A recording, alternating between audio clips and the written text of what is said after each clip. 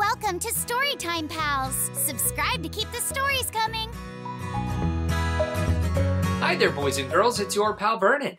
The next story I'll be reading to you stars one of our favorite mischievous little monkeys called Curious George Makes Pancakes. Ooh, sounds yummy. Here we go. This is George. George was a good little monkey and always very curious. One morning, the man with the yellow hat woke George early. Time to get up, George, he said. The pancake breakfast is today. Ooh.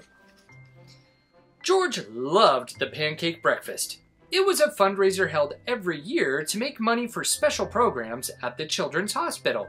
Hmm. Besides eating pancakes, there were all kinds of games to play. Even the mayor came to play and eat. But first, he gave a welcome speech. Thank you for all coming, the mayor said.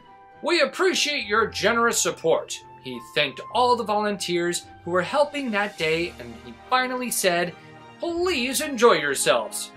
And the pancakes. Ooh, those look tasty.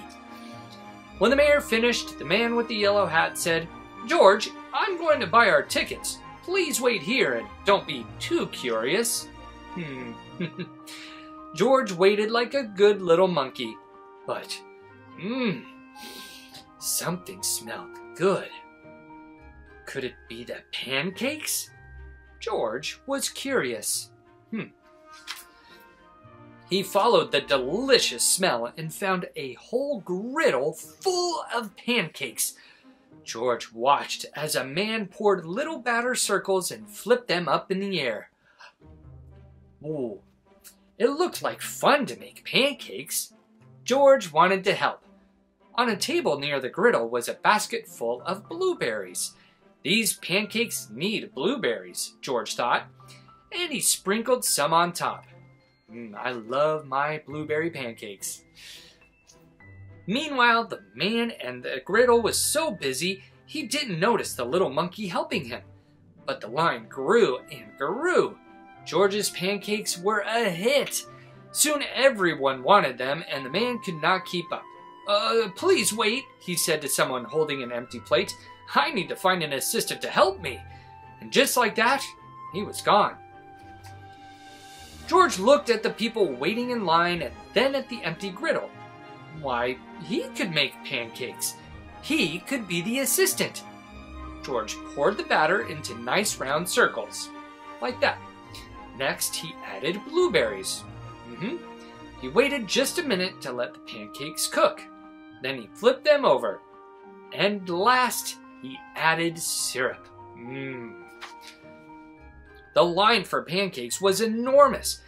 But with four hands, George made quite a chef, and no one's plate was empty for long.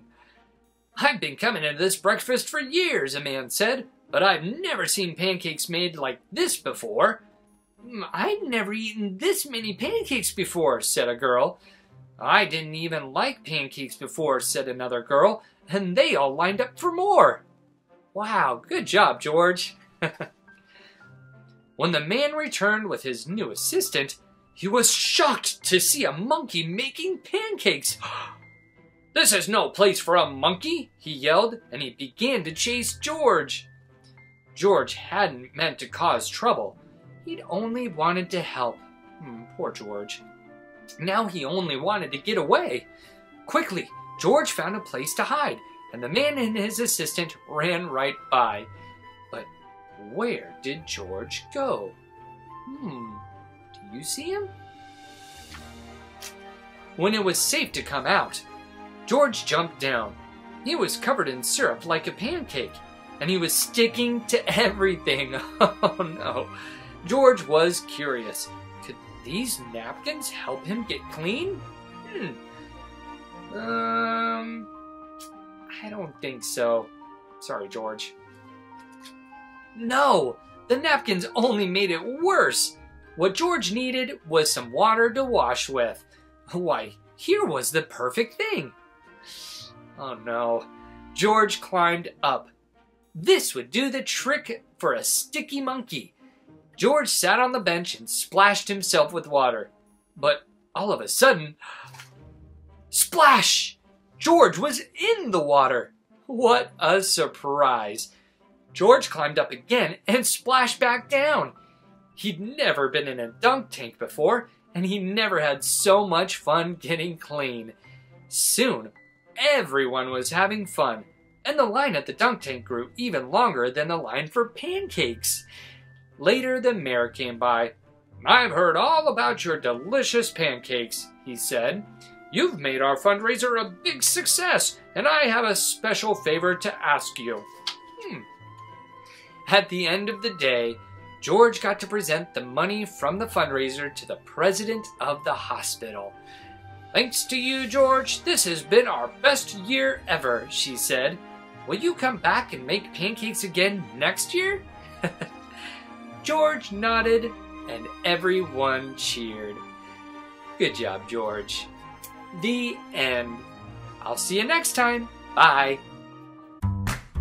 Thanks for watching Storytime Pals. Don't forget to like, subscribe, and share.